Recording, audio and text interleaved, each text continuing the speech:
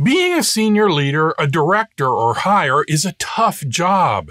You're stuck in the middle, leading tens, hundreds, or thousands of people. You're getting pressure from all around you.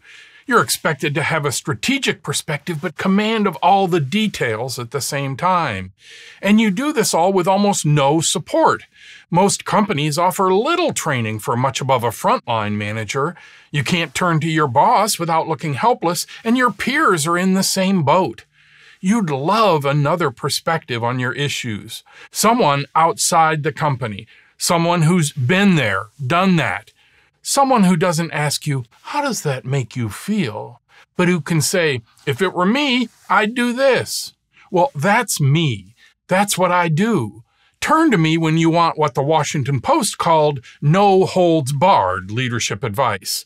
I'll tell it to you straight and give you another perspective. Not generic advice from a book, but a realistic, honest view of your specific issue.